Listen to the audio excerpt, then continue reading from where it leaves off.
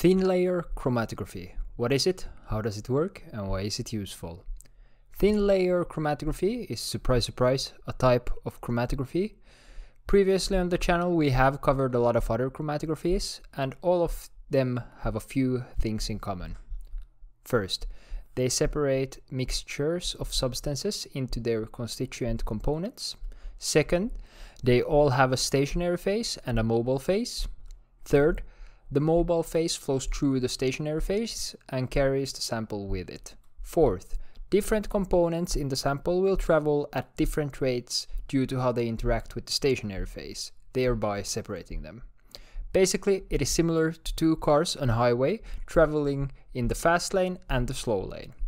Even if the cars start at the same position and time, after a certain amount of time, they will have separated from another due to the speed at which they travel. A simplified version, but hopefully effective to demonstrate the principle for you. Now let us take a look at what this looks like in reality. So here we have a very basic setup for a thin layer chromatogram. A pencil line has been drawn near the bottom of the TLC plate and a small drop of sample solution has been placed on this line and marked. The plate is then placed inside a beaker with a small amount of solvent in it. Note that it is very important that the level of solvent is below that of the sample drop. Due to capillary action, the solvent will begin to move up the plate and take the sample with it. As the solvent slowly travels up the plate, the different components of the mixture travel at different rates and the mixture is separated into different spots. The solvent is allowed to rise until it almost reaches the top of the plate, giving the maximum separation of the components of the sample.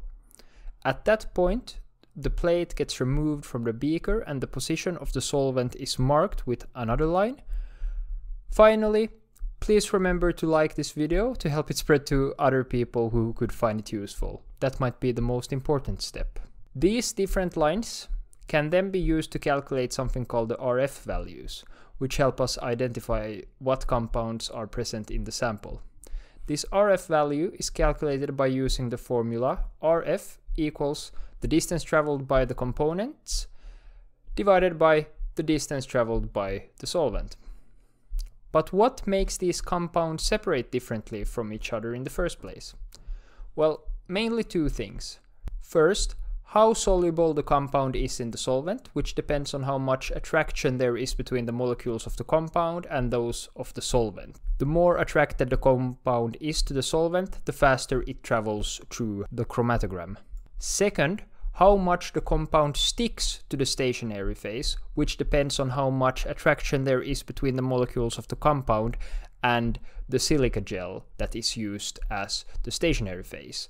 So, in other words, the more attracted the compound is to the stationary phase, the slower it travels through the chromatogram. But why is all of this useful? Well, the reason why chromatographies like TLC are so useful is that they allow us to easily and efficiently separate different compounds from each other in a solution. This means that a TLC can be used in order to identify compounds, determine their purity, as well as follow the progress of an ongoing reaction. If you want to learn more about other types of chromatographies, here is my playlist where I have added all my videos on the topic that I have made and will make. Until next time.